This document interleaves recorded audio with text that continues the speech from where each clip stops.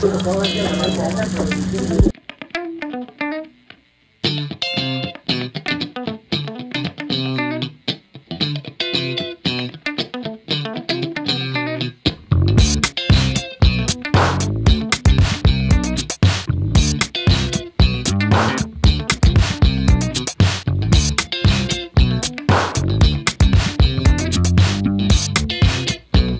Temperature 220 degrees Celsius.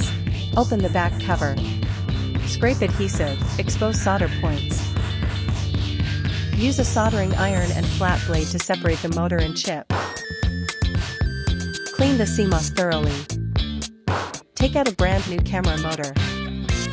When attaching the motor, make sure to align these five soldering points. If not, it can cause unclear focus or shaking. This is the result after soldering.